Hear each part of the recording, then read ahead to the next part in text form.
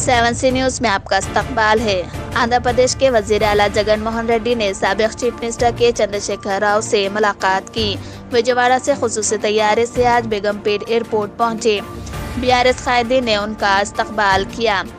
Airport से वो car के ज़रिए नंदीनगर में वाक़ उनकी रिहाइश गाह पहुँचे, जहाँ एस पार्टी कारगुजार के टी रामाराव ने उनका इस्तकबाल किया। जगन मोहन रेड्डी ने के से मुलाकात की। और उनके सेहत के बारे में दरियाफ्त किया।